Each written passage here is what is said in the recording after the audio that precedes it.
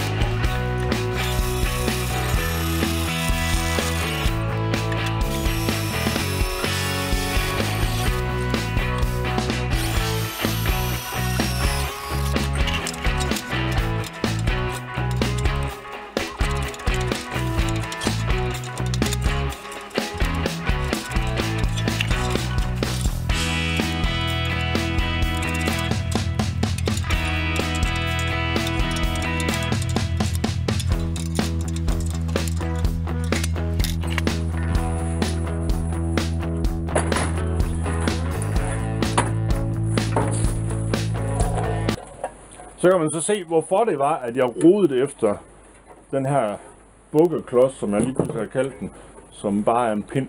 Øh, fordi at den der lige passede herinde bagved, når jeg skulle have det her op og, op og siden, når jeg skulle bruge de her huller. Øh, og øh, nu mens jeg sidder og lige nuller med det her, så kan jeg så svare på et, et spørgsmål, som øh, Jesper igen har stillet mig. Er der nogen, der har set den her med skideskæv? Øh, Nemlig til filmklip nummer 2, som øh, så faktisk kom øh, ud i går aftes. Filmklip nummer 3 er lige ved at, at uploade, mens jeg sidder her og, og roder. Nemlig om, øh, om jeg skulle have gemt noget mere af den her gamle grill, for eksempel det der gaspikken og gashanerne og sådan noget. Men øh, det skulle jeg så ikke, fordi at de der gashaner der, de havde sat sig uhjælpeligt fast. Måske kunne jeg godt have reddet dem. Og alle de andre ting, som Jesper han snakkede om, termometer og resten og sådan noget der. Selvfølgelig kunne jeg godt have gemt det, men øh, eftersom man nok kan se, så har jeg alt for meget lort herinde i værkstedet. Som jeg også har sagt før. Øh, så derfor så holder jeg op med at gemme sådan nogle mærkelige ting, som at... Øh, jeg tror, der er meget, meget lidt chance for, at jeg kommer til at bruge, fordi for eksempel de der rester der, som, at, som sad i grillen, der, der var faktisk næsten ikke jern tilbage i dem, så, så, så dårligt var det.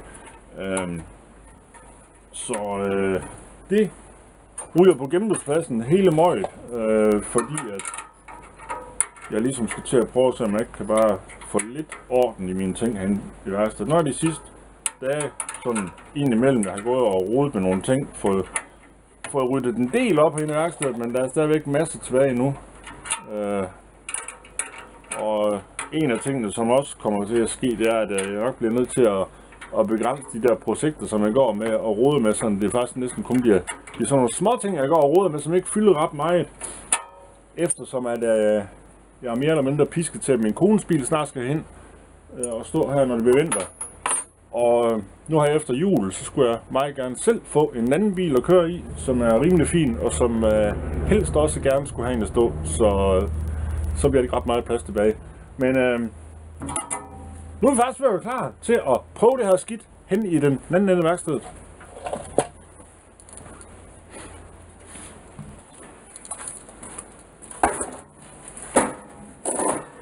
Ja, så øh, er vi klar til afprøvning.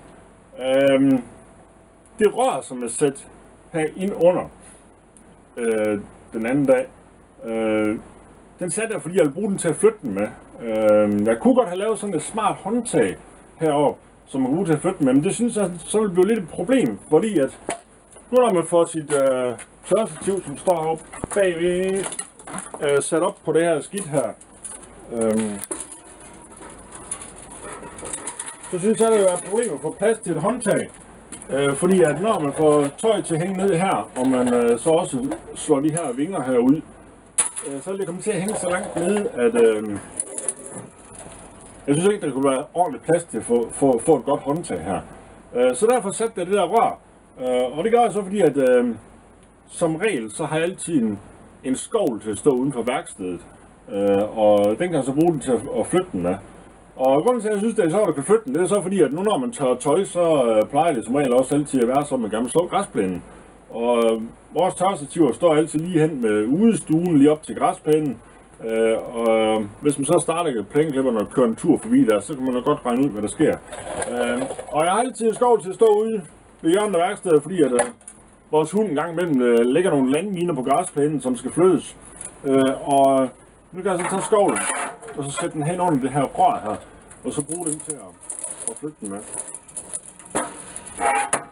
Det synes jeg er skide smart. Øh, nogle vil måske synes, det er lidt mærkelig måde at gøre det på, men øh, det er nu sådan, jeg har valgt at gøre det. Øh, og det var så, hvad man kunne få ud af sin gamle grill, hvis man ellers synes, at det her det er sjovt. Og det var det.